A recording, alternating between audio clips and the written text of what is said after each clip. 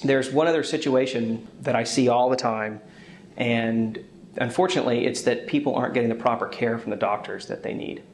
You know, there are great doctors out there, um, but there are some not so great doctors, just like there are some not so great lawyers.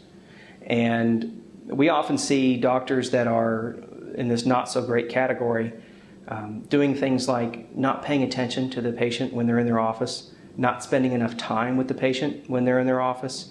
And when they do that, they don't get a real sense of what the car crash injury or other accident injury is.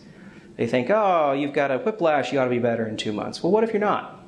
What if you've had a, a prior injury? What if your spine's not perfect? Um, what if you sit at a desk all day and you use a computer and you've got neck problems before the car crash?